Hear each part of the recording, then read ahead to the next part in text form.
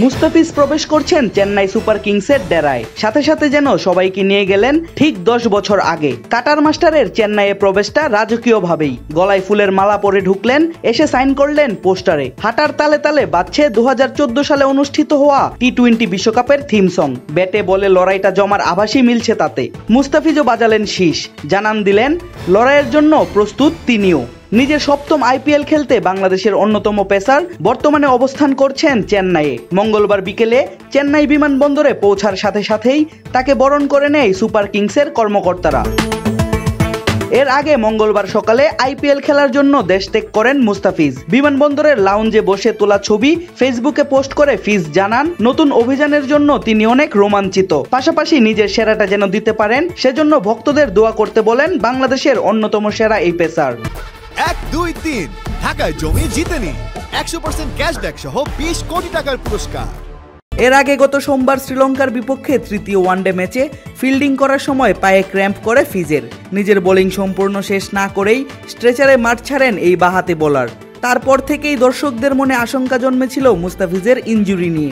প্রশ্ন উঠেছিল, তার আইপিএলে যোগদান প্রসঙ্গেও। তবে সব প্রশ্নের উত্তর যেন মুস্তাফিজের এই ফেসবুক পোস্ট। জানিয়ে দিলেন, দ্য ফিজ এখন সম্পূর্ণ ফিট। তাই সোমবার বিকেলে ম্যাচ শেষে রাতেই ঢাকায় উড়ে আসেন ফিজ। পরদিন মঙ্গলবার চড়ে বসেন চেন্নাইয়ের বিমানে। বিশ মার্চ চেন্নাই সুপার কিংসের প্রস্তুতি ক্যাম্পে যোগ দেওয়ার কথা রয়েছে মুস্তাফিজের। বাইশ মার্চ চেন্নাই মুখোমুখি হবে বিরাট কোহলির দল রয়্যাল চ্যালেঞ্জার্স বেঙ্গালুরুর বিপক্ষে। প্রথম ম্যাচের একাদশে মুস্তাফিজের থাকা প্রায় নিশ্চিত।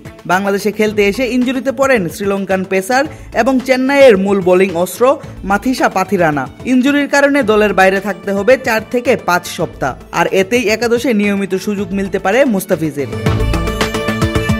যে কোনো ব্র্যান্ডের সচল অথবা অচল টিভি এক্সচেঞ্জ করে নতুন ওয়ালটন টিভিতে পাবেন সর্বোচ্চ বিশ হাজার টাকা পর্যন্ত ডিসকাউন্ট।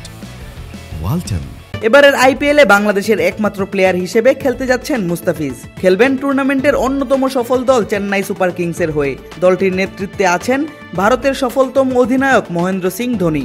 বেশ কিছুদিন ধরেই মুস্তাফিজ আছেন কিছুটা অফ ফর্মে তার ক্ষুরধার বোলিংয়ে ধার কমেছে কিছুটা। তবে ধোনির অধীনে নিজেকে আবার ফিরে পাবেন ফিজ, এমনটাই মনে করছেন ফিজ ভক্তরা।